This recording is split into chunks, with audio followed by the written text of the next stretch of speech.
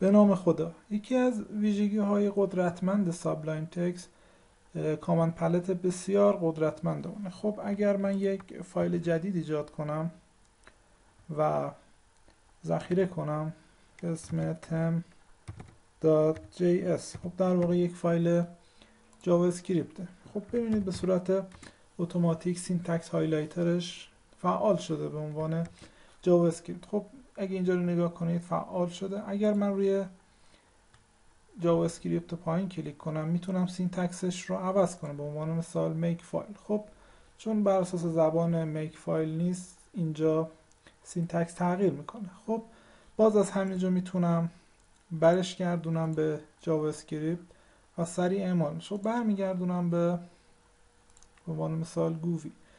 یک راه دیگه اینه که ما از command palette استفاده کنیم. و اینجا بنویسیم syntax.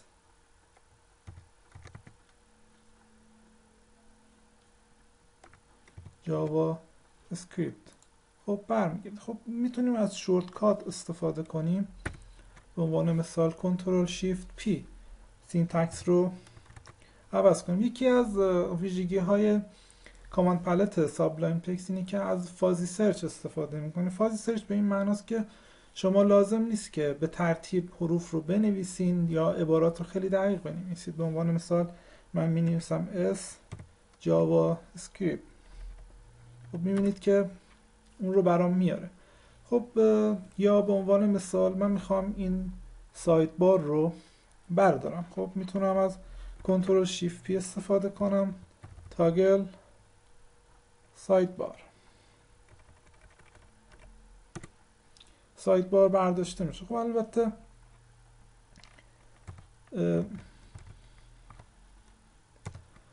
شورتکات هایی هم وجود داره که ما می‌تونیم از اونها استفاده کنیم. به عنوان مثال کنترل کی بی سایت بار رو میاره. کنترل کی بی سایت بار رو برمیگردونه برای ما.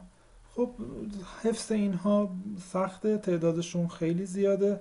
ما اگر یاد بگیریم از کامن پلت استفاده کنیم کارمون بسیار سریع میشه. به عنوان مثال کامن پلت تمام منوهایی که اینجا وجود داره به صورت دستوری توی خودش داره. خب اگر البته بتونید یک سری موارد تکراری رو حفظ کنید خیلی به نفعتون میشه.